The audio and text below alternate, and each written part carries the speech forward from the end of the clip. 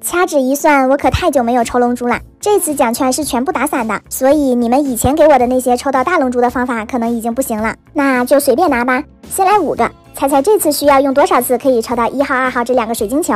第一个一百零六号、四十一号、七十八号、六十八号、五十一号。好家伙，这几个离大球也太远了吧，全都是很小的球。不行，我得换个方式拿奖券，直接抓一把。这次数了十个出来，八十六号。